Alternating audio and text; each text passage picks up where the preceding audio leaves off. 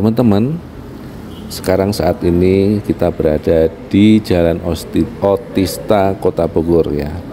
Ini saya sedang menuju ke jembatan baru yang baru saja diresmikan oleh Presiden Joko Widodo tanggal 19 Desember tahun 2023. Ya, sejarah singkat jembatan Otista Bogor ya merupakan bangunan lama yang dibangun pada tahun 1920 yang kemudian diperlebar pada tahun 1970. Lalu sekitar tahun 90-an menjadi infrastruktur andalan yang menunjang aktivitas warga kota Bogor. Jembatan tersebut juga sempat dipenuhi pedagang kaki lima sehingga menyebabkan kemacetan. Pada tahun 2015, Pemda Kota Bogor melakukan kajian sehingga diterapkan kebijakan sistem satu arah Wali Kota Bogor Bima Arya Sugiarto menyebut bahwa pihaknya mengajukan kepada Pemda Prof Jabar sempat disetujui pada tahun 2020 tetapi selang pandemi COVID-19 perbaikan ditunda. Baru kemudian pada awal tahun 2023 jembatan ini bisa dibangun dengan menghabiskan waktu tujuh setengah bulan. Ya, Perjalanan yang tidak mudah karena warga harus bersabar bukan saja karena kemacetan yang ditimbulkan akibat pengaturan lalu lintas, tetapi juga berkurangnya pendapatan warga, tutur Bima. Dan inilah teman-teman ini uh, hasil pelebaran jembatan Otista. Ya, saat ini saya uh, berjalan di sisi kanan. Nah, sebentar lagi kita akan melihat uh, istilahnya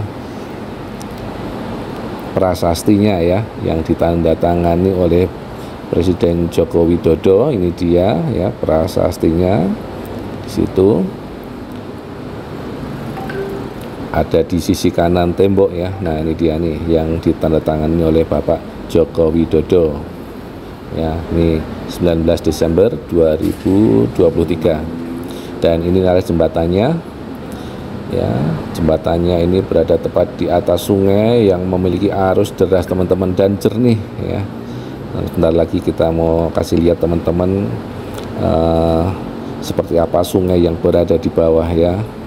Ini sudah lebar jadi kemacetannya sudah tidak ada lagi di sini teman-teman. Banyak sekali uh, warga pada berolahraga pada pagi hari ini ya sehingga uh, sambil mereka berfoto di jembatan yang baru ini ya yang masih baru ini.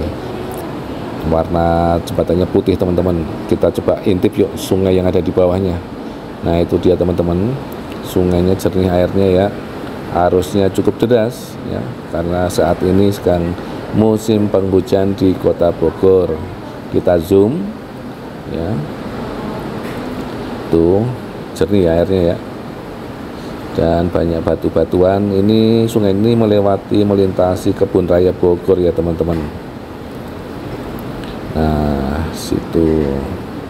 Ini kita lihat dari atas ini ya. Ini kalau pas hujan deras ini sungainya airnya melimpah. Ya tuh. Kita zoom. Suasana sungainya bersih ya. Sungainya bersih sekali airnya jernih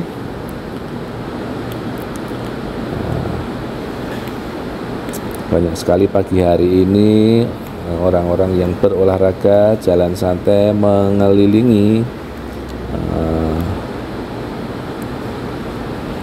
kebun raya Bogor ya.